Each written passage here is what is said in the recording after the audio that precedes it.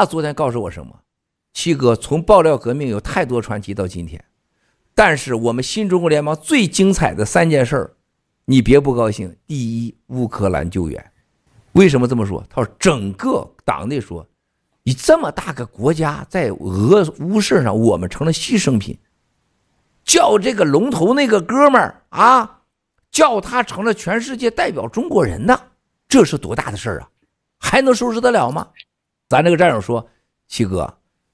这次救援，咱们新联盟真的一下走向国际化。第二，洗币，他说洗币，你让这么多人赚了钱，对共产党内部触动太大了。共产党只抢别人的钱，哪让别人挣钱呢？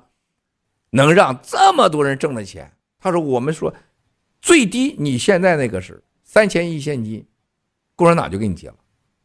战友现在赚了几百亿啊。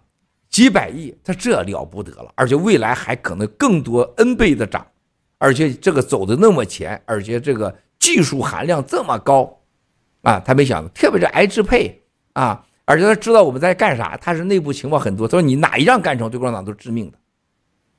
第三件事他说做梦也没想到你们能在西方世界共同和战友这些被共产党抛弃的弃儿，甚至都是认定为精神病。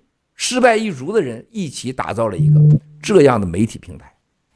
他说：“共产党就怕别人跟他抢钱呢，就怕抢话语权呢，就怕被代表啊，有人代表他，你全干了。”